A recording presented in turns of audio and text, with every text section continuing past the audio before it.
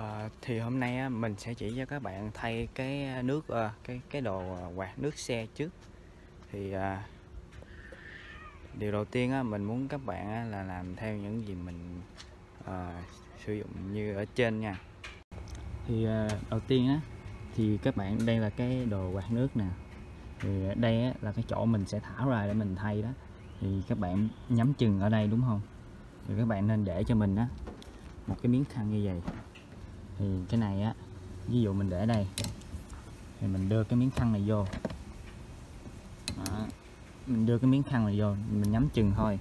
Tại vì có nhiều lúc á, mình tháo như vậy nè, mình tháo lên như vậy, để mình lấy cái này ra đó, thì cái này là nó sẽ bập xuống cái đùng. Thì nó sẽ làm rồi cho cái ờ, kiến xe của mình này nè, nó sẽ bị bể. Thì cái lực của này rất là mạnh. Thì nếu mà mình tháo ra cái miếng này nè cái miếng ờ, cái miếng ở đây nè nó sẽ dọng vô cái cửa kiến xe của mình á thì nó sẽ bị bể. Thì mình nên lót một cái miếng này. Thì mình nhắm chừng đó thì cái miếng này nó sẽ ở đây. Thì mình sẽ tháo ra để cho dù nó có rớt á, xuống á, thì nó sẽ không có kiến của xe mình á. Thì cái này á, nó chỉ có mấy đồng thôi nhưng mà cái kiến á, nó tới 300 đồng lận. Thì đừng có để những cái ờ, cái việc nhỏ này á, mà nó làm ảnh hưởng những cái mà mất tiền hơn nữa, thì cái công việc chỉ có 15 đồng thôi mà mình phải tốn 300 đồng thì nó không có đáng. Thì các bạn thấy ở đây không? Đó, thì mình chỉ cần như vậy nè, mình kéo nó xuống là nó đã đi ra rồi.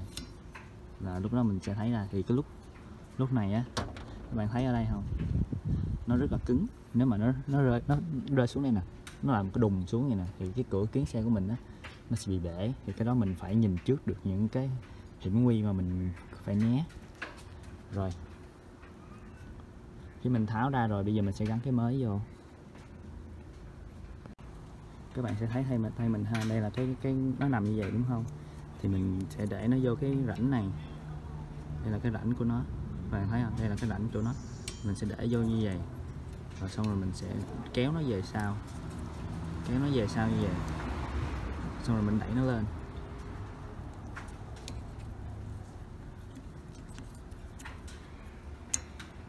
Mình đẩy nó lên.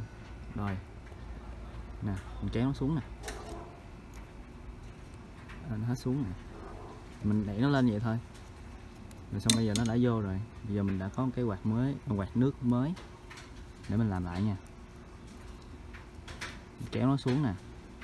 Giờ mình, mình khi mà mình đẩy vô đó cái này các bạn đè vô cái hướng này nè đó. Đè vô. Xong rồi mình đẩy lên. Nè đó mình đẩy lên. Bạn nghe không? Đó. Thì mình thay, mình để nó xuống. Đó, như vậy. Là mình đã có một cái quạt nước mới. Mình cũng sẽ tiếp tục làm ở bên này. Các bạn sẽ để ý cái chỗ này là cái chỗ mình mở ra nè. Thì lúc đó nó sẽ nó sẽ rơi xuống cái kiến này thì mình cũng lấy một cái khăn như vậy luôn. Mình nhắm chừng á, mình để lên. Mình lót nó. Rồi, bây giờ ha, mình sẽ tháo nó lên cao như vậy. Mình tháo lên cao. Đúng không? Mà rồi mình gỡ nó lên như vậy. Xong rồi mình kéo nó xuống. Là các bạn thấy nó nó, nó ra không? Dễ không? Đó là mình đã lấy được rồi. Trong vòng có hai giây thôi mà mình không cần phải ra tiệm. Đó. Thì để mà tránh trường hợp nó rơi xuống như vậy nè các bạn không? Mình đã đề phòng trước rồi nên mình đã có ló cái khăn rồi. Cho dù nó có rớt xuống á nó không có làm bể kiến xe của mình. Tại vì cái này nó bằng sắt mà kiến xe của mình nó rất là dễ bể thì để mà cong vào cái kiến không á, là đã ba trăm rưỡi rồi, trong khi mà cái cái việc mình thay như thế này nè, nó chỉ có 15 tới 20 đồng thôi.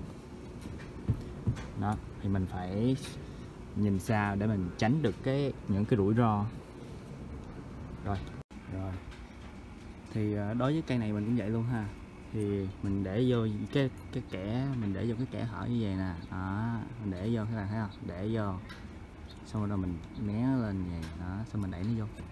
Kéo lên là nó đã vô rồi. Rồi mình để nó xuống như vậy.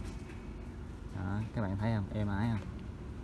Đó, như vậy là mình đã có hai cái mới đó rất là vừa. Vừa khích luôn đó nha. Rồi bây giờ mình đã có hai cái mới rồi. Thì đây là hai cái cũ. Thì cái công việc mình thay chỉ có khoảng uh, khoảng ờ, 5 phút thôi. Rồi bây giờ cái điều rồi trước tiên mình sẽ thử, mình xịt nước lên coi, nó có rửa kiến sẹt sạch không nha. Quá đã luôn. Rất êm.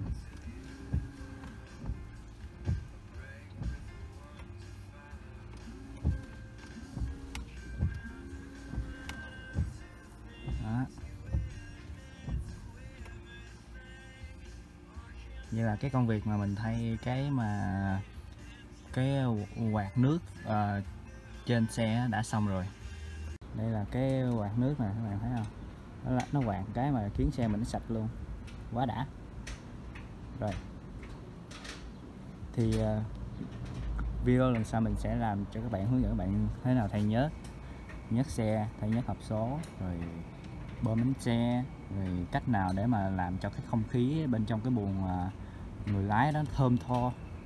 Rồi chúc các bạn ngày tốt lành nha.